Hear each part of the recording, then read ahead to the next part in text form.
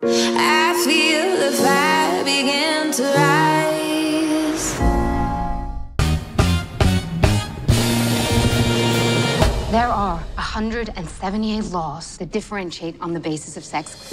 Women can't work overtime. We have to get credit cards in our husband's name. We're not allowed to work in the mines. Something this is a man's world. You think you can change the country? You should look to her generation. They're taking to the streets. Protests are important, but changing the culture means nothing if the law doesn't change. What did you say your name was? Ruth Bader Ginsburg. I want to be a lawyer. I want to represent clients in pursuit of justice.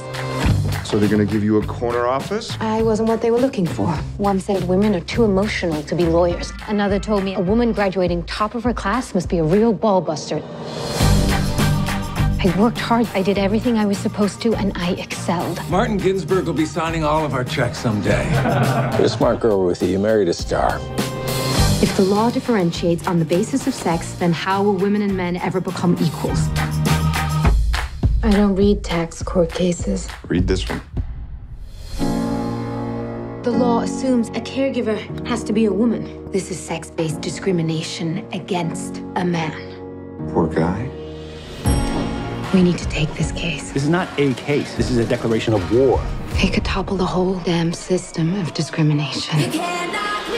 They think gender equality is a civil right. What's at stake is the American family. Let's put this idea to bed once and for all. You will lose. And when you do, you will set the women's movement back 10 years. You don't get to tell me when to quit.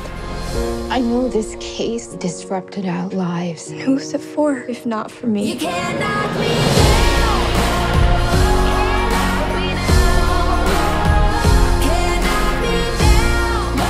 Been ready for this your whole life. So go in there and let the judges see the Ruth Ginsburg I know.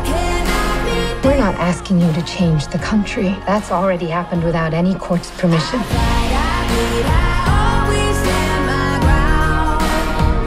The word woman does not appear even once in the U.S. Constitution. Nor does the word freedom. Your Honor. I